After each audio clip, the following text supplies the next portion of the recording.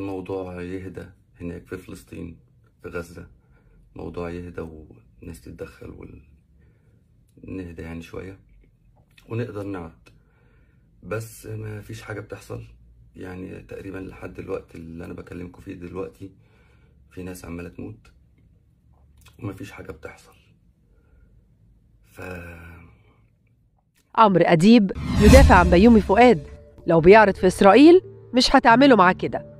وفاء عامر تعلق على أزمة بيومي فؤاد ومحمد سلام مش قادر يقف على المسرح. السلام عليكم. لطفا قبل أن نبدأ لا تنسوا أن تعطروا فمكم بالصلاة على النبي ولا تنسوا أن تضغطوا like واشتراك في القناة وتفعيل زر الجرس. مساكم بالخير. عندنا سحب على 100 جوال 14 Pro Max وسحب على 100 ألف جنيه مصري. كل الشروط تتفرج على 30 فيديو سابقين على قناة كورة شراب وتكتب تنفذ تعليقات على 30 فيديو وتشترك في القناة. عمرو أديب يدافع عن بيومي فؤاد. لو بيعرض في إسرائيل مش هتعملوا معاه كده. علق الإعلامي عمرو أديب على الأزمة بين الفنان بيومي فؤاد وزميله الفنان محمد سلام بعد اعتذار الأخير عن عدم المشاركة في مسرحية زواج اصطناعي بموسم الرياض بالسعودية بسبب استمرار العدوان الإسرائيلي على غزة وهجوم الأول على الثاني في فيديو منتشر على مواقع التواصل الاجتماعي. وقال أديب خلال تقديمه برنامج الحكاية عبر قناة MBC مصر الأحد عن الهجوم الذي طال بيومي فؤاد بعد رده على محمد سلام اللي أنتوا بتعملوه مع بيومي فؤاد ده هو الراجل عمل إيه؟ إيه اللي أنتوا بتقولوه عن الراجل؟ إيه الشتيمة القبيحة دي؟ ده لو بيعرض في إسرائيل مش هتعملوا معاه كده إيه الهستيريا دي؟ وأضاف متضايق من بيومي فؤاد وشايفه عبد للفلوس والمادة ومش شايف فلسطين أنتوا شايفين اللي اتعمل في بيومي النهارده قد إيه اللي عمله؟ هل العقاب الجماعي الأسطوري اللي معمول ده قد الكلمتين اللي قالهم على المسرح؟ هو عمل إيه؟ الراجل بيشتغل شغلته بيشتغل ممثل إيه السر؟ وتابع أديب. أول امبارح كان في سبع مطربين مصريين بيغنوا في أبو ظبي ولا حد قرب لهم. في مصر عدد من الحفلات ولا حد قرب لهم. إنما هو عشان في الرياض؟ أنا بتكلم بصراحة. يعني هو عمل إيه؟ واللي معاه عملوا إيه؟ وفاء عامر تعلق على أزمة بيومي فؤاد ومحمد سلام. مش قادر يقف على المسرح. تصدر اسم الفنان بيومي فؤاد هاشتاج المتداولة عبر موقع إكس وذلك بعد تصريح له على أنه السبب. وراء استبعاد الفنان محمد سلام من مسرحية زواج اصطناعي والمعروضة ضمن موسم الرياض في السعودية. ليخرج بيومي على جمهوره في نهاية عرض المسرحية مساء أمس ليوضح موقفه من الفيديو المنتشر لمحمد سلام بشكل واضح وصريح. وهو الفيديو الذي اعتذر فيه محمد سلام عن بطولة المسرحية وقال فيه أنه لا يتخيل نفسه يرقص ويضحك في العرض المسرحي ومئات الأطفال والنساء يتم قتلهم في غزة. ورد بيومي على سلام في كلمته التي صورها الجمهور ونشرها على مواقع التواصل الاجتماعي من حقك تعتذر عن المسرحية بس مش من حقك إنك تغلط في فنك. إحنا مش بنيجي عشان نضحك حضراتكم إحنا بنقدم فن فن مصري.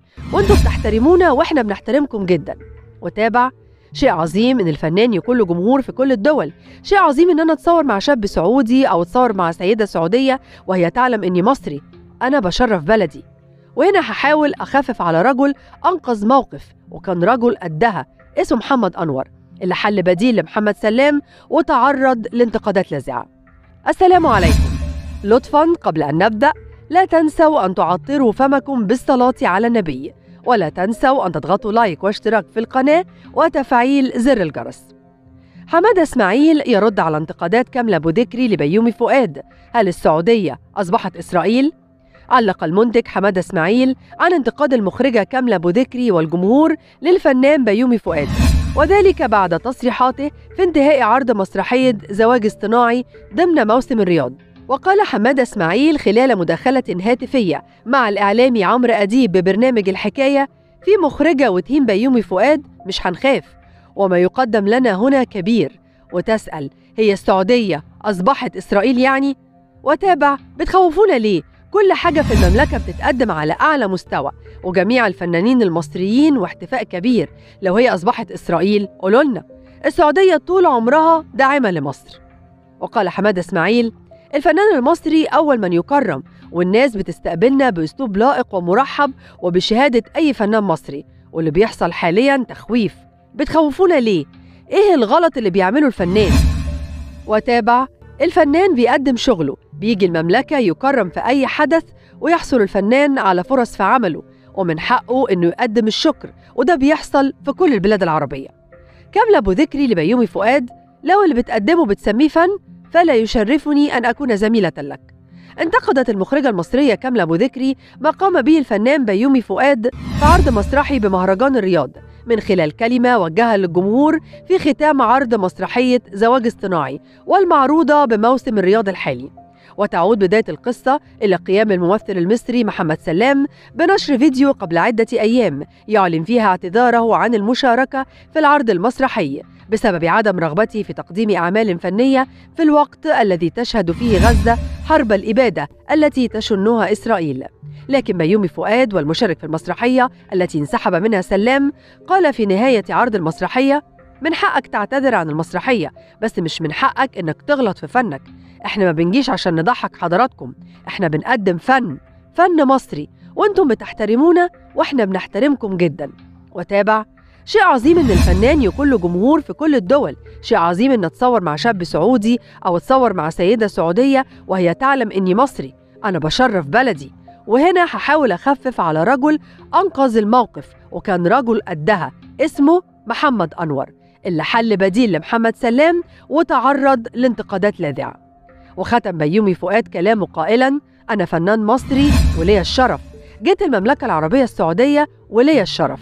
كتر خيركم إحنا بنتعب ونشقى عشان نقدم فن.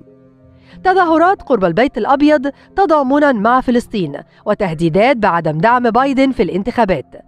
تظاهر آلاف في العاصمة الأمريكية واشنطن السبت مطالبين بوقف إطلاق النار في ظل تدهور الوضع الإنساني في غزة. وأوضحت شبكة السي أن إن الأمريكية اليوم أن حشدا من المتظاهرين المؤيدين للفلسطينيين تجمعوا في ساحة الحرية في العاصمة الأمريكية داعين إلى وقف إطلاق النار في غزة. وطالبوا كذلك بوقف المساعدات الأمريكية لإسرائيل. وامتلأت ساحة الحرية الواقعة بالقرب من ناشونال مول والبيت الأبيض بالكامل تقريبا بالمتظاهرين الذين كانوا يرتدون ملابس حمراء وخضراء وسوداء ويلوحون بالأعلام الفلسطينية. والآن أعزائي المشاهدين أعتقد أننا وصلنا إلى نهاية الحلقة. ولكن قبل أن أنهي حديثي سأطرح عليكم سؤالا وأتمنى منكم المشاركة بآرائكم في التعليقات. ما هو سبب ما يحدث مع محمد سلام من ظلم؟ لا تنسوا أن تشاركونا بآرائكم في التعليقات ولا تنسوا أن تضغطوا لايك أسفل الفيديو من أجل دعمنا. وفي النهاية أتمنى منكم الاشتراك في القناة وتفعيل زر الجرس لكي يصلكم كل جديد أول بأول. وقبل أن ننهي الفيديو كالعادة لا تنسوا الصلاة على النبي.